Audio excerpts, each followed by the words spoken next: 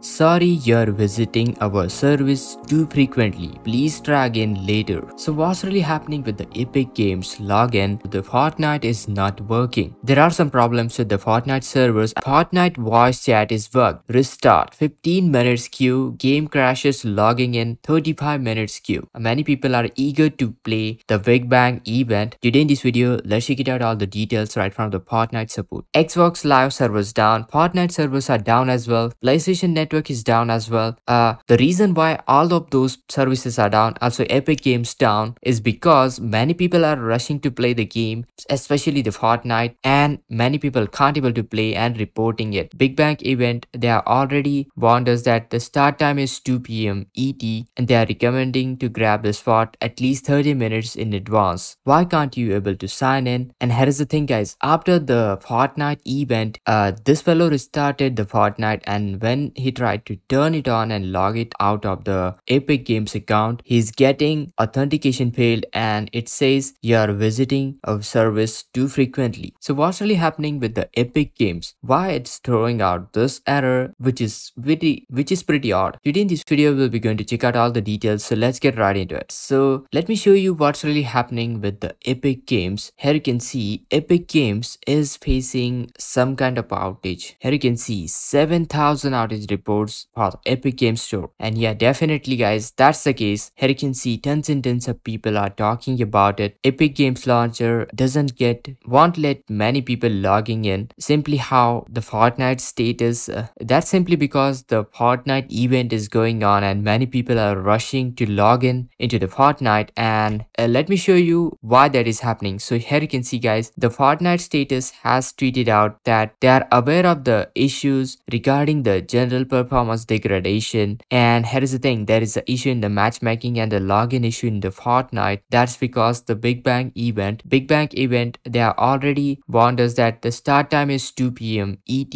and they are recommending to grab the spot at least 30 minutes in advance. And that's the thing, uh, 17 hours ago, uh, they have got this issue they are trying to resolve with the empty item into the shop. Uh, sorry for the delay, everyone. And here's the thing, they are trying to fix this one. And this is a big issue purchases fail offers fluctuating over the next few hours also fail to purchase and here's the thing many people are reporting this issue into the shop. They are trying to fix this issue but due to this uh, big bang event uh here is the thing there is a battle royale and check this out this is update two hours ago. Team rumble will be disabled at 1:30 p.m eastern time. Prepare for the today's event. Then one hour ago start time is 2 p.m et so grab your spot before they have already warned us. In fact, uh, they have got tons and tons of replies. Here you can see their team is investigating the chat issue, also the crashing issue. Um, but guys, you can totally acknowledge uh, this is the event going on. Uh, there's a big, big event, the Big Bang event, and that's the reason many people are rushing in. And therefore, Epic Games want many people log in. At this moment, many people are not able to log in into the Epic Games. That's due to this rush happening due to the Big, Big Bang event in Fortnite. So guys, what's the latest update? Well, as of right now, many people are rushing to play the game. Therefore, Epic Games are throwing out this error. Sorry you are visiting our services too frequently. This is the error they are throwing. So this is just a automated uh, protection for their side to prevent tens and tens of people from, you know, flooding their servers or probably their services are down. There's some of their servers are down due to how the Fortnite event. That's because guys, there is too much rush to there happening there. So once i get any latest details i'll keep you posted. Make sure to that like share this video subscribe and this is Kedar from